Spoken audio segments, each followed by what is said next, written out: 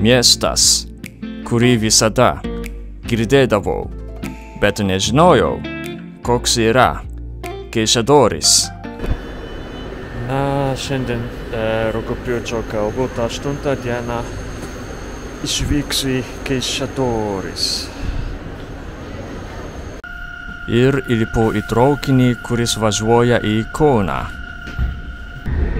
Na būtent esu daug kartų jau važiavęs į Kauną traukiniu ir kaip žinote, tarp Vilniaus ir Kauno yra daug vietų, kurias e, traukiniai pravažinėja. Ir tai reiškia, kad aš pravažinėdavau daug kartų tokias vietas ir kažkaip, na, tokios vietos man visada skatina susidomėjimą ir man norisi pamatyti tokias vietas, na kaip ten atrodo ir taip toliau. E, ir jo, man norisi kažkada lankyti. Ar jums to, toks reiškinys nebūna? Man visada būna ir šį kartą vienas iš jų Keišadoris aš lankysiu, nes nuo, nuo, sen, nuo seno man norisi mane pamatyti, nes yra tai prieš Kauną yra. Na, šiandien atvykau į Keišadoris. Na, man atrodo, kad miesto centras yra. Na, bėgių, bėgių kitoje pusėje. Na, bet pirmiausiai aš norėčiau pamatyti, na, Keišadorių geležinkelio stotį. Ir, na, žemėlapį aš matau, kad yra Keišadorių dvaras. Na, todėl pirmiausiai ten einu ir po to, na, pažiūrėsiu miesto centrą, kuris yra kitoje pusėje. Na, čia yra Keišadorių geležinkelio stotis. Na, šiek tiek gražus pastatas, ar ne?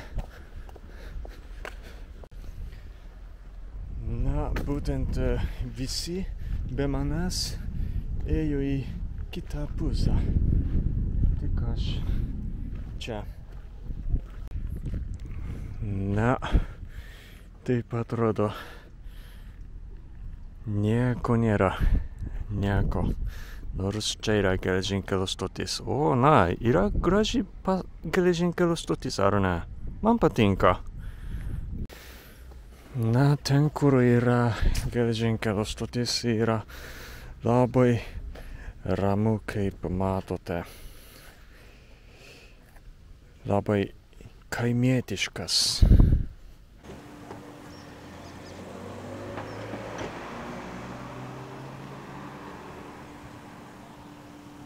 Na, čia aplinkui yra tik namai, nėra daugia būčių namų. Labai jauku, na tik labai daug, na, šiek tiek yra mašinų, truputį triukšminga, bet netrukdo. O čia kažkas yra. Na, kvapa labai gardžiai. Nežinau, kas čia yra. Na, man atrodo, kad tai yra slyvos, ar ne? Kvapa labai skaniai. Man norisi valgyti. Na, bet čia negali mane. Geriau nevalgyti čia. Na, faina, faina.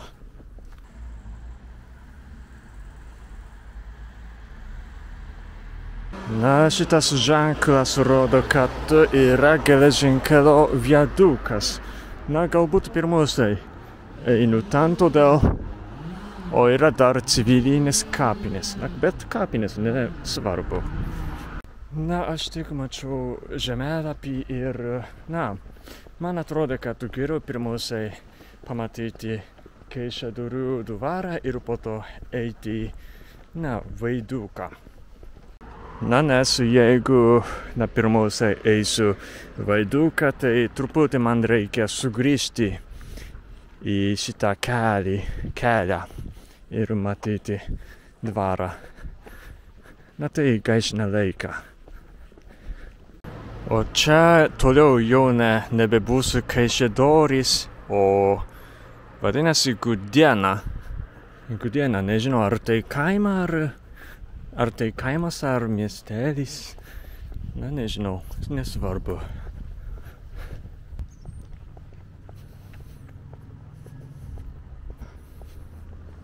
Nu, čia yra tvenkinys arba ežeras. Labai jauki vieta.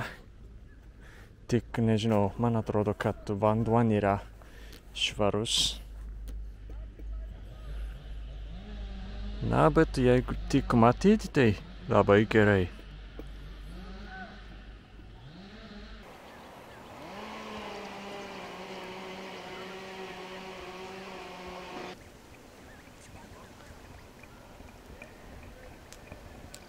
Man atrodo, kad čia yra dvaras ar nežinau, atrodo irgi kaip normalus namas.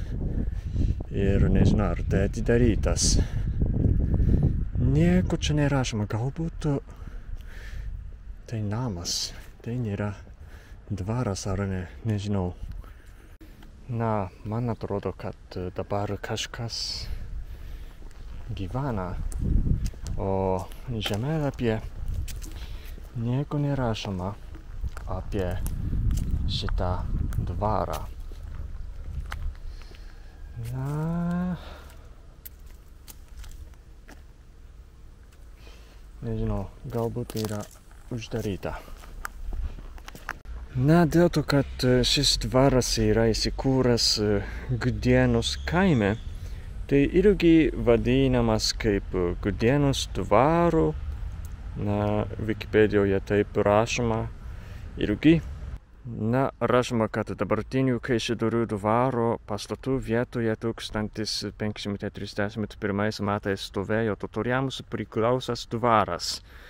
Kaišėdorių dvaras žinomas nuo 16 amžio, kai jį valdė totorius Hoišadaras Mumulevičius. Na, tai įdomu, kad tai totoriams priklausęs dvaras ir po jo kelis amžius savininkas buvo totoriai. Ir vėliau dvaras atiteko didikams ir jo mėriams, kurie įvaldė iki 1890 metų. O būtent apie Keišadorius, Keišado, Keišadoris. Na tai įdomu, kad miesto vardas kildinamas iš kilmingo totoriaus gyvenusio šiose vietose dar 16 amžio, amžia, amžiuje vardo Hašaidaras. Na, tai įdomu. Na, man atrodo, kad tai yra tas pats žmogus, kurie valdė tą dvarą. Na, Hoiš, Hoišadaras Mumulevičius. O čia miesto vardas kildinamas iš e, ha, Hašaidaro. Na nežinau, ar tai tas pats žmogus, bet man atrodo, ar ne. Labai panašus vardas. Ir prie dvaro yra toks labai tarybinis pastatas. Jau man atrodo, kad tai yra apleistas, ar ne? Na, labai įdomiai atrodo. Truputį baisus. Na, aš visada iš smalsumo, na, norisi na, pam, pažiūrėti šį pas, tokį pastatą. Na, labai na, seną tarybinį pastatą. Man, man norisi paprastai pamatyti, na, kaip atrodo viduje ir taip toliau. Na, koks buvo pastatas. Na, žinoma, čia eiti draudžiama. Negalima. Na, įdomu, įdomu. Man atrodo, kad čia buvo salė ar ne? Nežinau. Nieko nerašoma. Labai smagu. O žemėlapyje nieko nerašoma apie šį pastatą, todėl, na, negaliu sužinoti, koks buvo pastatas. Na, man atrodo, kad šitas pastatas yra dvaras. Na, kaip matote, prie dvaro yra na, toks didelė erdvė, na, truputį kiemas arba, kaip sakyti, sodas. Na, kokia jauki vieta. Na, kaip matote. Puiku, puikiai vieta. Na, paprastai poilsiui. Labai gerai galima atspalaiduoti.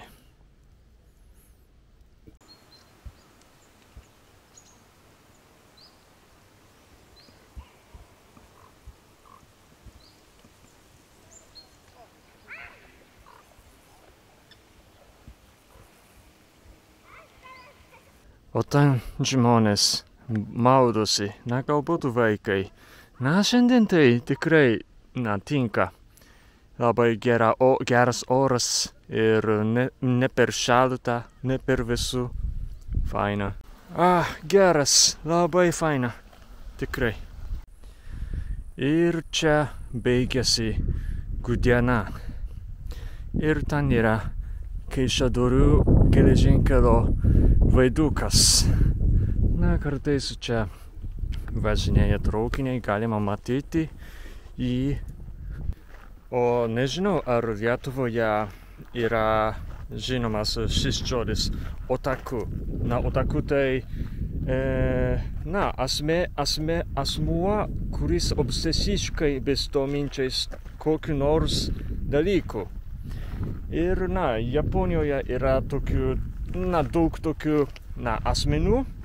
Ir, na, dažniausiai žinomas kaip otaku, na, kuris obsesiškai bestominčiais, na, anime arba manga. O Japonijoje dar yra traukinių otaku.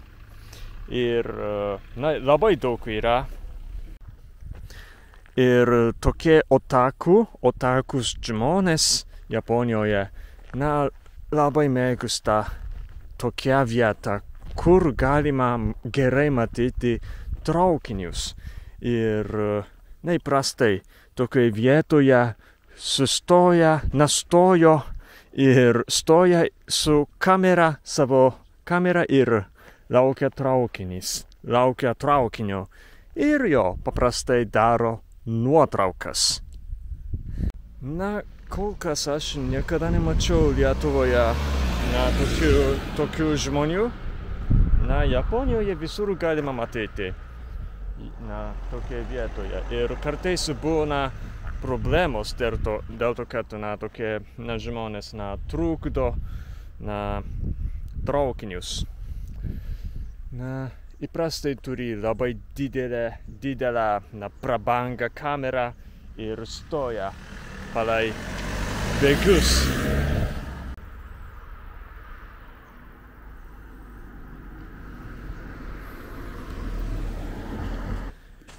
Na, ten yra kitas kaimas, bet man reikia sugrįžti Keišadoris. Todėl, na, reikia eiti tuo keliu.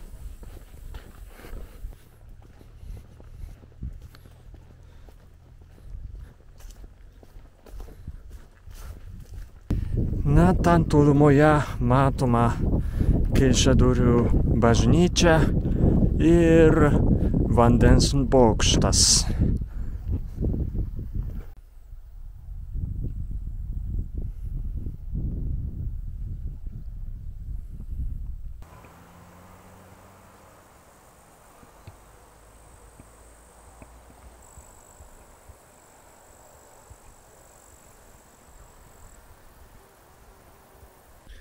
Nuka ikcha ashateo vaikštau ir pasirodė toks ženklas. Na, negalima pereiti. Asmenims ir transporto priemonėms be leidimo draudžiama eiti.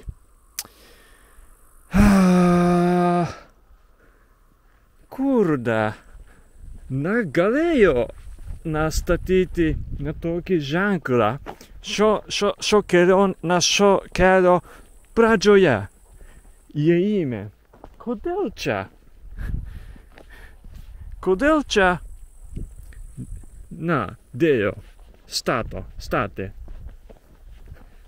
man reikia sugrįžti atgal. Na būtent, na, to, na toks ženklas galėjo čia statyti, na šio kelio pradžioje įėjime. Na gerai, dabar, o čia yra žydų senosios kapinės, o ne, ten šitas galbūt yra civilinės ir ten dar toliau yra žydų senosios kapinės. Na, gerai, man reikia sugrįžti, na, tuo pačiu keliu. Ai, gaila. Na, ne tuo pačiu keliu, bet, na, šiuo keliu galima sugrįžti. Nežinau, čia matoma, na, nesvarbu. Na, bet galima šiuo keliu na, sugrįžti į geležinkelio stotį ir po to pereiti bėgius, bėgius, nežinau, kur yra kirčiavimas. Na ir būsiu Keišėdorių centre. Na, jau praėjo beveik dvi valandas ir, na, aš dar negaliu baigti šio filmo, šio video, nes tada, na, mano žiūrovai, nes kusis, kad dar nemat, nesakydami, da, kad dar nematai, na, keišadorių. Na, aš būtent, na, dar nemačiau net keišadorių centro, dar daugiau nei pusę, pusės, pusės miesto aš dar nemačiau, todėl, jo. Na, nuo dabar, na, galų gale, na, pamatysiu keišadorių centrą. Na, man nepatinka eiti gatvę, kur daug mašinų važinėja, todėl čia einu šitų, šitų kelių. Ir sugrįžau į geležinkelio stotį. Na, iš čia galima įeiti į peroną.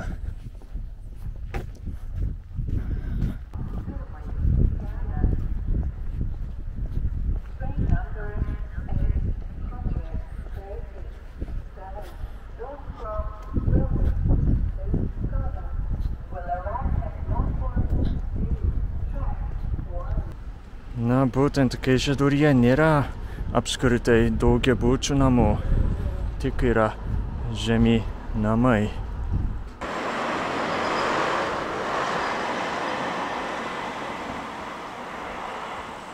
Na, čia yra švenčių namai. Nežinau, kas yra. E, balionai, dekoracijos, dovanos apranga. Įdomu. Ir Na, man atrodo, kad tai yra pagrindinė Keišadorių gatvė, ar ne? Gedimino gatvė. O ten yra graži bažnyčia, labai įspūdinga.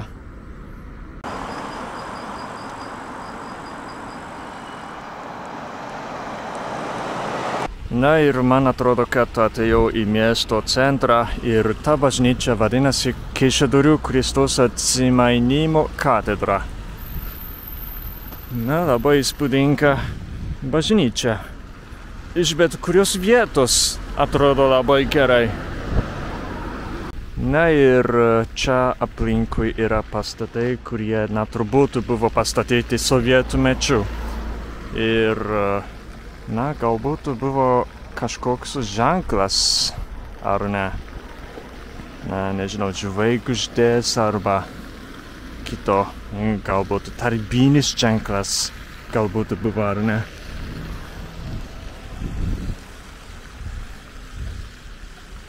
Oho, čia rašo, kad Keišėdurys Lietuvos kultūros sostinė 2020 ketveri metai. Na, apie tai nežinojau. Labai, na, netikėtai.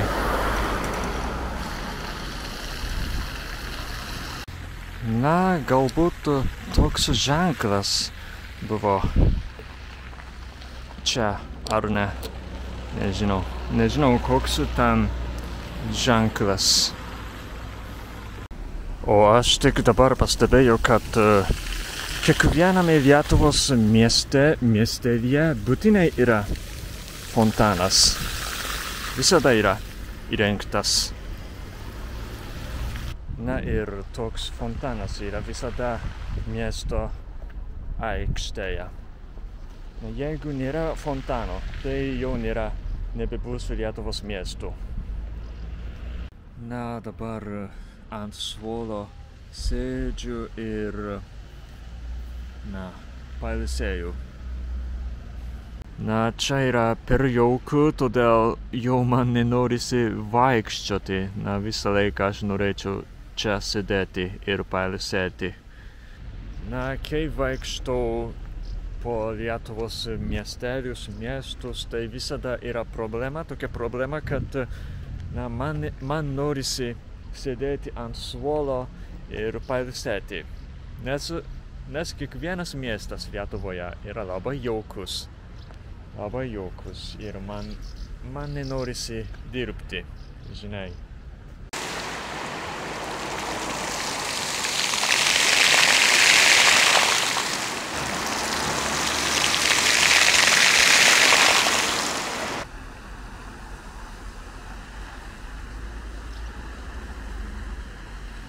Čia rašoma apie lankytinas vietas Keišadoryse.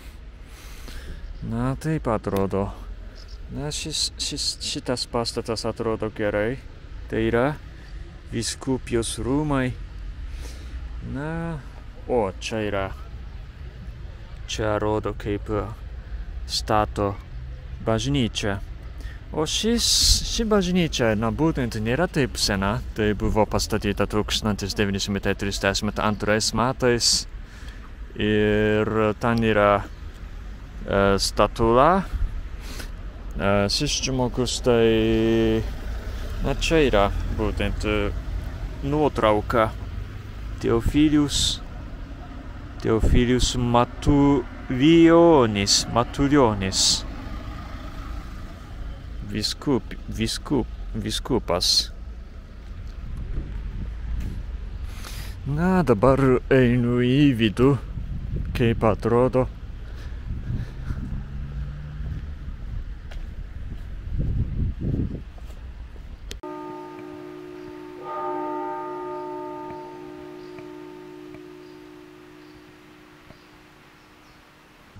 Ir šalia bažnyčios yra tokie kaimietiški mediniai namai, kurios, na, kurie man labai patinka.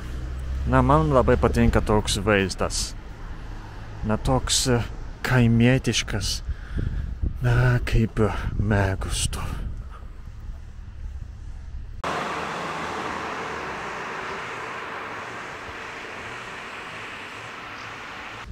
Na, čia yra arkivyskupas Teofilius Matuljonis.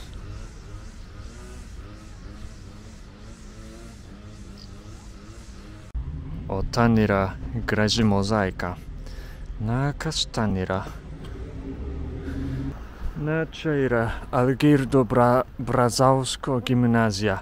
Aš tik šiandien na, sužinojau, kad uh, Algirdas Brazauskas buvo Lietuvos prezidentas ir iš, yra iš Keišadorių.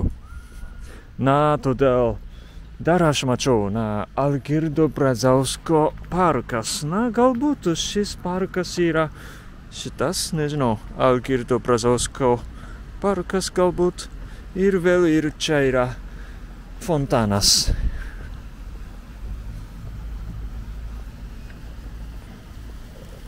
Na, čia rašo šimtas. Galbūt šitą gimnaziją jau šimtas metų, galbūt. Oi, čia irgi yra vanduo. Netikėtai. Aha. Iš žemės. Na, įdomu. Na, šiame, ka, šiame parke, na, kažkodėl na, kažkaip na, kaimietiškai kvapą, kaip laukuose. Nežinau kodėl, bet gerai. Labai kaimietiškas parkas. Ir čia yra įdomi architektūra. Na, nežinau, galbūt buvo pastatyti sovietų mečių. Na, tokia, na, keist, na tokio, tokios keistos formos. Na, tokių keistų formų pastatai įprastai na, sovietų mečių pastatyti. Ir čia yra kažkoks gražus pastatas. Žemėlapyje rodo, kad čia yra viskupijos kurija. Na, nežinau, kas yra kurija. Galbūt namas? Na, bet labai gražu. Labai gražus pastatas, ar ne?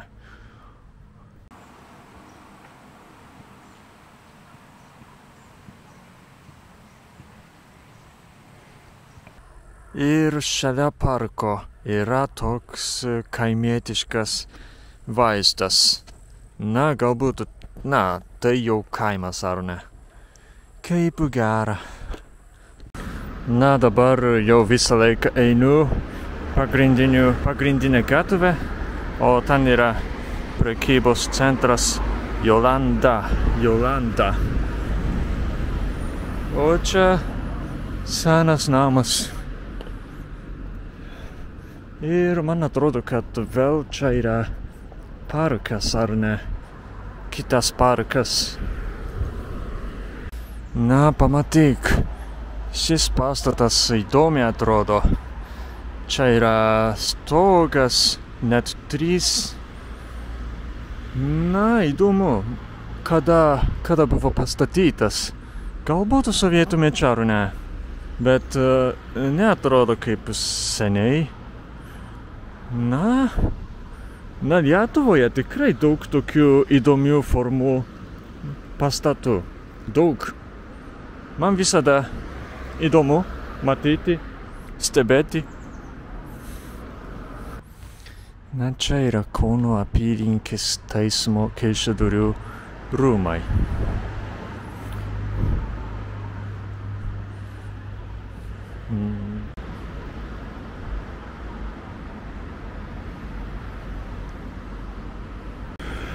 Na, pagaliau aš matau daugiabučių namus. Na, pirmą kartą keišadoryse. Na, būtent labai mažai yra tokių namų. Aš na, galvojau, kad čia daug žmonių gyvena, bet na, tik Wikipedijoje mačiau, kad čia gyvena tik 8590 gyventojų. Na, nors yra labai arti Kauno, Kauno ir aš manau, kad daug žmonių ar, na, važinėja į Kauną dirbti arba mokytis. Nežinau, aš taip galvojau. Bet, na, nėra daug gyventojų šiame mieste. Na, galbūt jau, na, beveik 30 minučių vaikštau ir, na, čia aplinkui yra, na, daugiabučių namai ir daug parduotuvių. Rimi iki Maxima na vienoj vietoje. Labai didelė konkurencija. Na, galbūt čia daug žmonių gyvena.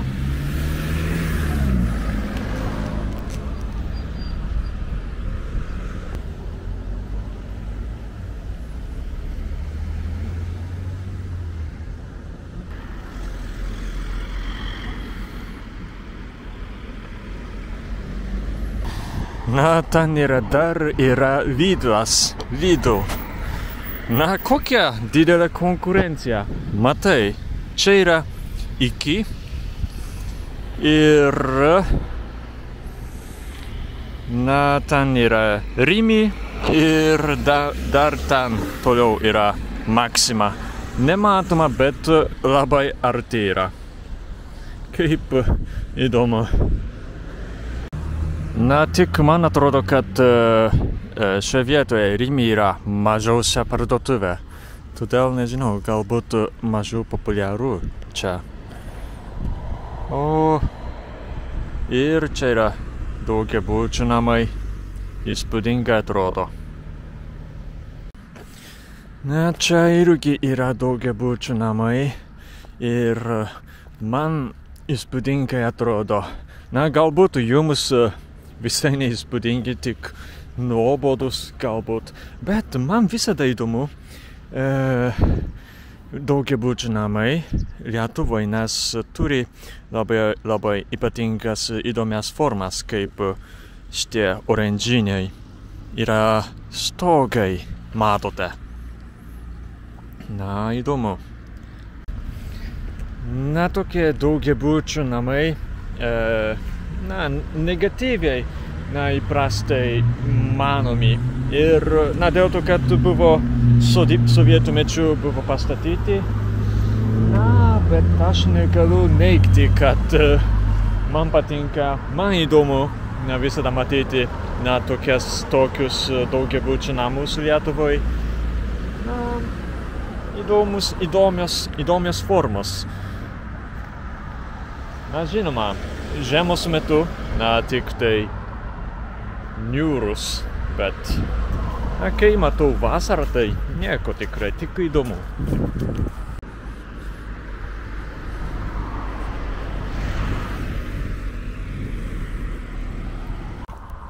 Na, bet uh, įprastai daugiabučių namai yra labai niūrus. Japonijoje irgi na, daugiabučių namai atrodo negražiai. Ir, uh, na, nors nors e, nebuvo pastatyti sovietų mečių, niekada Japonija nebuvo o, sovietų okupacijoje, tai, tai todėl tai žinoma. Na, bet jo, labai niūrus pastatai yra Japonijoje. Ir Japonijoje dar, dar formos yra, na, neįdomios visai. Visi, na, kiekvienas daugiabučių namas atrodo, na, taip pat. Na ir čia yra labai didelė erdvė. Na ten tolumoje yra miškas, galima galbūt pasivaikščioti. Labai patogu, o ten yra namai kaip kaimas. Na, turi būti čia gyvenimas e, labai jaukus. Nais ir e, netoli yra parduotuvės, net yra keturios didelios na, galbūt tai prekybos centrai. Na, čia, na, gyvenimas turi, turi, turbu, na, turi būti labai fainas, jaukus, patogus. Ir čia yra Norfa. Na, šitą Norfa išvengia, iš konk, na, išvengia konkurenciją su iki Lidlu, Maxima ir, uh, ir ką? Rimi. Na. Na tai gera idėja. Išvengia konkurenciją ir čia, na, pastato, na, parduotuvę. Tai geriau. Na, ir jo, na, tik mažai, tik mažiau mašinų būtent. Bet aš manau, kad geriau išvengti tą didelę konkurenciją. Per didelę. ir įėjau į kelią, į mišką. Dabar miške einu ir ten toliau yra ežeras. Na, čia yra miškas labai tankus. Na, gražus, gražus miškas. Ir yra takas. Ir čia ežeras.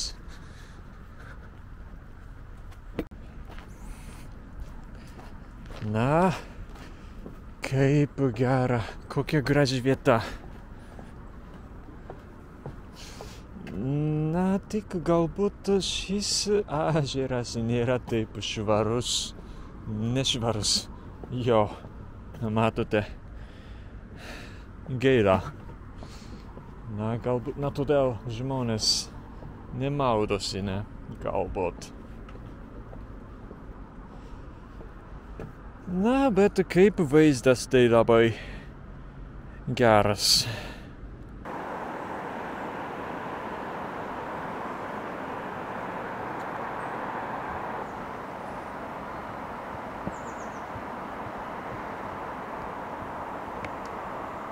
Na, būtent man atrodo, kad čia, šiame miške žmonės galbūt grybauja.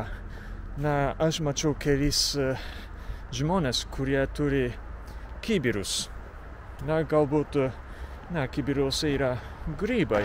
Na, bet aš nežinau, ar dabar yra grybų sezonas. Na, bet man atrodo, kad gal taip. Na, lietuviai apskritai mėgsta grybauti, ar ne? Na, visai ideali vieta grybauti.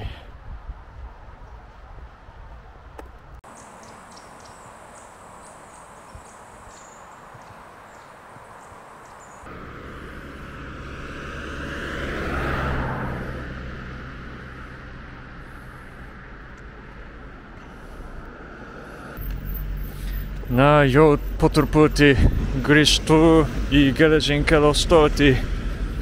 Jo, aš manau, kad e, beveik visa, na, visas, visus keiša, keišadoris pamačiau, ar ne?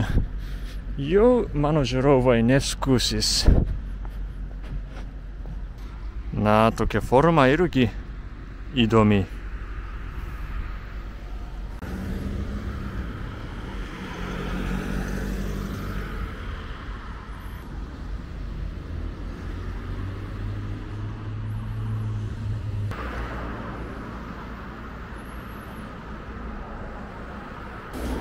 Na, būtent čia yra keišadurių žemėlapis ir čia yra nuotraukas. Nuotraukas. Na, man atrodo, kad dauguma kurva triukšminga. Na, dauguma vietų. Na, pamačiau. O, tai yra senas vandens bokštas prie geležinkelio stoties. O šita mozaika tai, aha, irgi viskupijos, viskupo mozaika. Teofilius Matuolinio mozaika. O šitos koplyčios, na, galbūt nemačiau. Nežinau, kur yra. Man atrodo, kad netoli yra, ar ne? Na, nežinau, jeigu suspėsiu, tai einu pažiūrėti. Na, na, kažkodėl aš negalėjau rasti koplyčios žemėlapyje. Na, nežinau, kur na, yra. Todėl, na, galbūt šiandien neinu. Na, nesvarbu.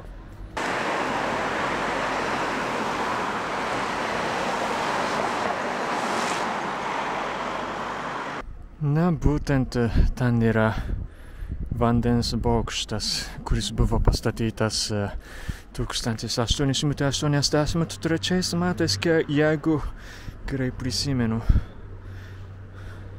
Na ir ten yra geležinkelio stotis. Na, mano traukinys išvyks 19.15 minutės. Antras peronas.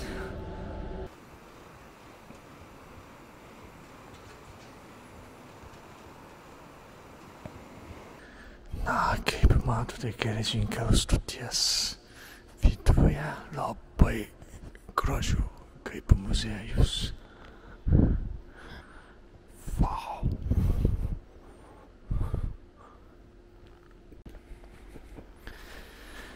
Na, įspūdingai atrodo.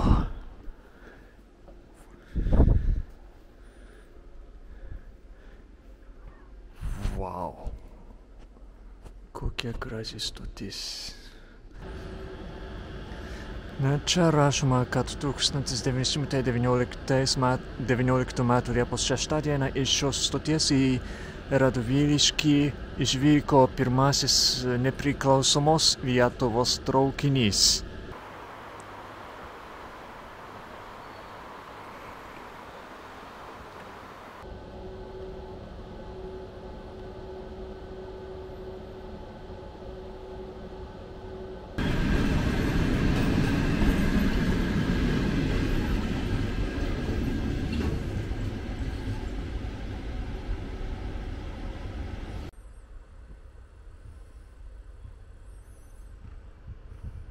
Na, būtent šitas vandens bokštas yra labai gražus, matote.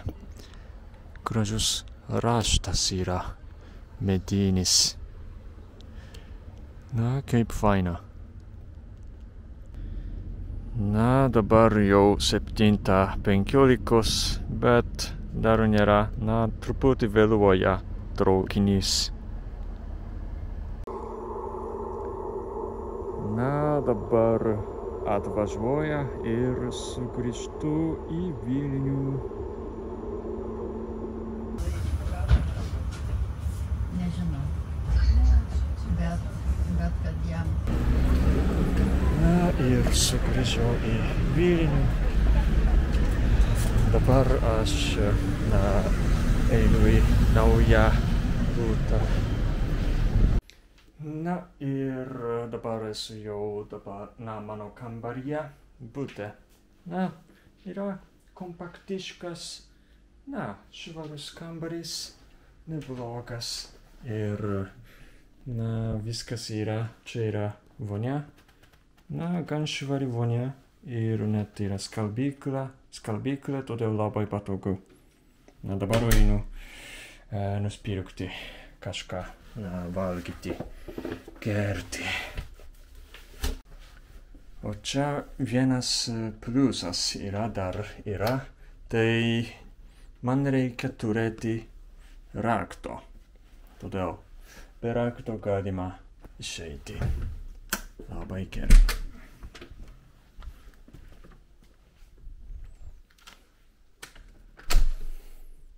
kodas yra. Na, mano dabartinis būtas yra labai patogus, nes ten jau arti yra Maksimos. Labai faina. Na, sveiki, šiandien rūpiučio galbūt 9 diena ir, na, dabar esu Vilniuje ir, na, dabar einu einu turėti interviu. Na, šią kelionę jau tris kartus net turiu. Na, dabar einu.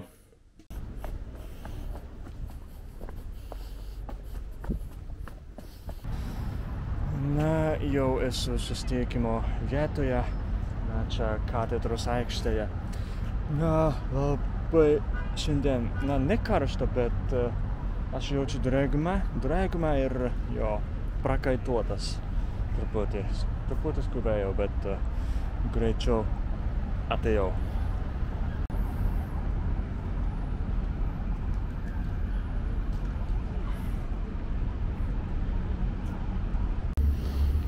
Na, dar uh, aš turiu 15 minučių. O, tam, na būtent. Aš girdėjau, kad buvo nuošlaužos, ne? Gedimino, ką, ten kalnas, kalne. Na, jau galbūt prieš dvi savaitės, ar ne? Na, kartais būna, ne? Kiek prisimenu. Na, tai va, aš turėjau interviu pas Elenuką. Na, buvo na, smagus ir linksmas interviu. Aš manau, kad na, bus įdomus, įdomus, na, leida, ne? kaip įdomi leida bus. Na tai įdomu, kad kažkas paliko tokį didelį lagaminą. Na būtent aš tik dabar baigiau interviu su LNK. Labas vakaras Lietuva tokia laida. Ir na dabar tik po 13 valandos ir jo, šiandien galbūt visą dieną būsiu Lietuvoje. O tą progą aš norėčiau bandyti sušius. Sušių iš Lietuvių, Lietuvos restoranų. Na, buvo daug tokių komentarų, kad man reikia bandyti sušių iš restoranų Lietuvoje. Na, paskutinį kartą aš tai pa, e, tokį bandymą padariau. E, na, sušių, na, sušių, bandžiau na sušių iš e, Lietuvos parduotuvių. Šį kartą iš restoranų.